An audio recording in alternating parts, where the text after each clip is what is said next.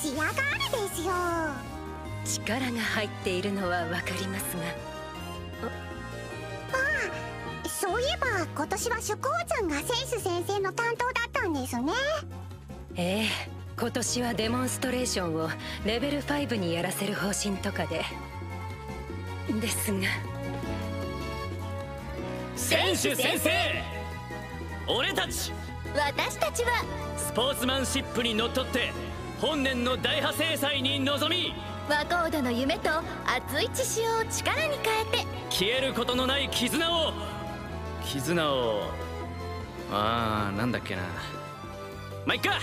消えることのない絆とかの色々はみなぎる根性でどうにかして日頃の鍛錬と根性の成果を十分に発揮し己が成長した姿を見せることで父兄への感謝を表しこの大会が最高に根性の入った思い出になるよあらゆる困難障害観難シンク七転び八起きが立ちはだかろうとも全て根性で乗り切ることを誓うぜ。何あれ？失敗だったみたいですね。ええ